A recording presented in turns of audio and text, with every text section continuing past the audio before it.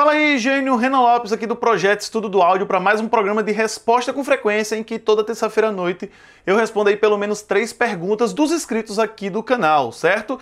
E no programa de hoje a gente vai falar então sobre a ideia de usar falantes diferentes no sistema, certo? Uma pergunta do nosso amigo. Uma outra pergunta em que a gente fala sobre a possibilidade de mexer na equalização antes do processador e depois a gente vai falar sobre os possíveis cancelamentos no ponto de crossover. Agora, antes de começar a responder as perguntas, eu gostaria de agradecer aí ao Rodrigo Baden que me mandou essa camisa aí das mais gênias, inclusive aí com o login do projeto Estudo do Áudio. O Rodrigo que me mandou uma carta junto agradecendo a transformação que a vida dele teve com o projeto Estudo Áudio, né? Ele que é aluno do projeto e me informou lá na cartinha que o projeto realmente trouxe uma transformação completa para a vida profissional dele, ele agora estava com mais conhecimento, ele conseguia atender muito melhor o cliente dele, por isso, em agradecimento, estava me mandando essa camisa. Rodrigo, obrigado de coração, gostei da camisa e vou usar ela bastante, certo? Inclusive é o seguinte, ó, quem quiser mandar camisa, eu adoro ganhar presente. Agora vamos lá, deixar de papo e já responder as perguntas aí. A primeira pergunta, então, veio do nosso amigo Almi Hernani, tá? O Almi perguntou o seguinte, Renan, misturar subwoofer com woofer da mesma polegada dá certo? Por exemplo, cara preta com Eros 12, já que o sub não sobe e o Eros não desce. Fazendo isso, dá para cobrir todas as frequências de grave e subgrave? Fica bom? Almi, Cara, não existe necessariamente uma regra, tá? Um cuidado que a gente tem que ter é, eu sempre comento aí que Imagina que a gente pegou dois caras, tá? Um cara magrinho e um cara gordinho. Eu peço para esses dois caras correrem, eles vão tocar na parede e voltar até mim, certo? E eu peço para eles repetirem esse ciclo. O cara mais magrinho, ele é mais ágil, ele é mais rápido, ele acelera e freia mais rapidamente. Já o cara gordinho, ele tem uma certa dificuldade de acelerar, uma certa dificuldade de frear, então ele é um pouco mais lento. Mas em contrapartida, o cara mais gordinho ele tende a deslocar mais massa de ar e é basicamente isso que um subwoofer faz. Ele desloca muito massa de ar, por isso que ele é, é, preenche muito bem a região de baixa frequência. Em contrapartida, o cara mais magrinho, que é um falante um pouco mais leve, com mais agilidade, ele tende a ser melhor para as frequências mais altas.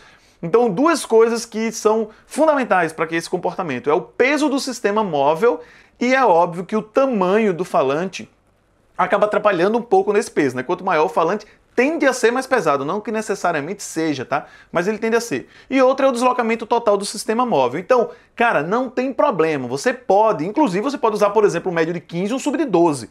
Não tem problema. Desde que ele atenda a sua necessidade. O falante tenha projeto específico para atender a sua necessidade. Você está falando do Eros ali, que é um falante para alta frequência, e um sub, o cara preto da Pioneer, que é para baixa frequência, pode misturar. Agora é importante que você faça o correto processamento do sistema, o alinhamento correto para que a interação entre os falantes sejam coerentes e ele te traga uma sonoridade muito interessante, beleza? Vamos lá então para a nossa segunda pergunta aqui, que ela tá vindo do nosso amigo é, Matheus Costa, tá? Olá, Renan. Aqui é Matheus de Aracaju, no Sergipe. Tenho uma dúvida em relação à utilização da mesa de som junto ao processador. Gostaria de saber se eu der ganho na mesa em uma determinada frequência, ela vai para todas as vias ou somente a que está respondendo de acordo com a regulagem do processador.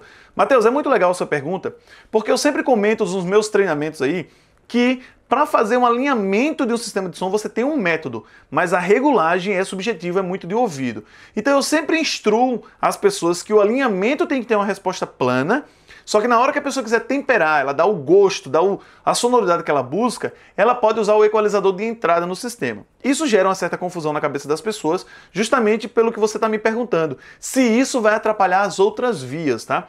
Veja só, quando você faz isso antes do processador, você estiver fazendo lá no seu CD Play ou na sua mesa, eu já estou contemplando que os crossovers estão aplicados lá no processador e o limiter está aplicado no processador para proteger todas as vias. Então, por exemplo, se você der um ganho lá em 60 Hz e o seu falante de grave está indo até 200, por exemplo, e o seu médio grave subindo em 200, muito provavelmente esse ganho não vai atrapalhar o médio grave, exceto se o que do filtro for muito grande, ele for muito aberto. Aí ele tende a levantar um pouco lá da alta, vai trazer um pouco de energia para a parte baixa do seu médio grave, que pode aumentar o excesso de deslocamento. Mas ele está com crossover, está com limite, então você vai continuar protegendo o seu alto-falante. Então veja bem, não tem problema algum de você fazer a equalização na entrada do seu processador. Você tem total liberdade, desde que você tenha ciência de que está usando o crossover correto e o limite é correto para proteger os seus alto-falantes, certo? E inclusive eu induzo que você faça isso, porque é no equalizador de entrada que você vai temperar o sistema para ter a sonoridade que você busca. Legal? Vamos lá então para a nossa próxima pergunta que é do Fabrício de Araújo Nunes. Fala, Renan, minha dúvida é a respeito do filtros em inversão de fase. Ouço muito que a inversão de fase só ocorre especificamente no filtro Butterworth 12 dB por oitava. Procede? Particularmente não gosto desse filtro. Prefiro usar no mínimo 18 dB. Qual a vantagem e desvantagem se tiver a respeito dos cortes com maior ou menor potência de filtro além da transição suave? levando em conta que potências menores diminuem consideravelmente a eficiência de reprodução dos falantes e muitas das vezes a minha percepção, até mesmo a fidelidade.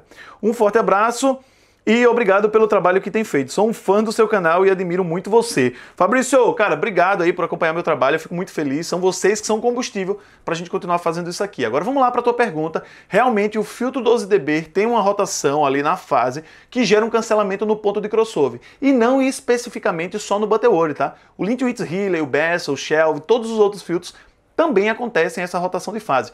É uma característica do slope de 12 dB por oitava que faz com que isso aconteça. É sempre muito importante que você possa estar tá medindo isso com um RTA para poder conferir se esse cancelamento está acontecendo. Se porventura você não tiver um RTA, você pode colocar uma frequência fixa no ponto de crossover, usar o filtro, mudar a polaridade de um dos falantes e perceber se está dando ganho ou não.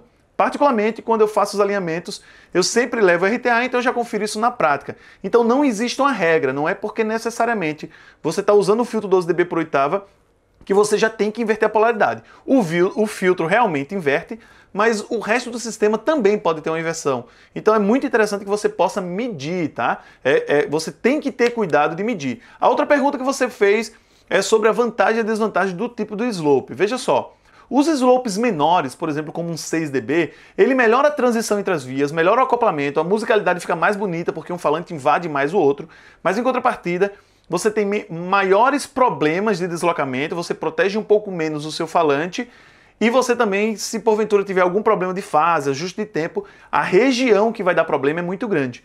Já os slopes maiores, por exemplo, como um 48 dB, a musicalidade não é tão legal porque a transição é muito rápida de um falante para o outro, é, mas em contrapartida você protege muito bem o seu alto-falante e se porventura você tiver algum problema de um para o outro, diferença de tempo, um problema na fase, a região que vai dar problema é muito menor, visto que o slope é maior, certo?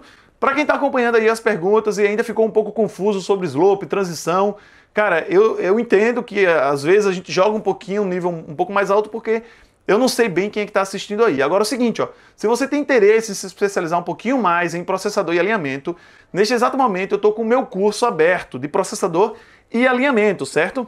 que você pode participar aí. É um curso com 20 aulas online, você pode assistir de qualquer lugar do mundo.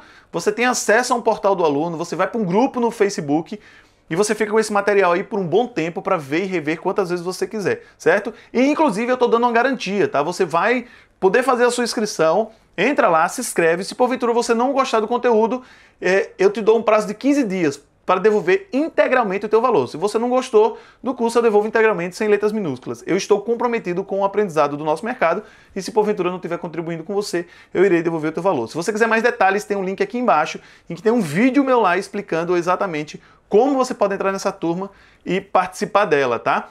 Mas é o seguinte, ó, vou ter que encerrar aqui, cara. Agradeço verdadeiramente por você ter estado comigo até agora. Me dá espaço aí para invadir tua vida e a gente poder bater um papo. E eu agradeço por você estar sempre participando. Se você tem qualquer dúvida na área de áudio, coloca suas perguntas aqui embaixo, porque na próxima terça-feira eu vou estar respondendo ela aí para você. Beleza? Um forte abraço e nos vemos em breve. Valeu!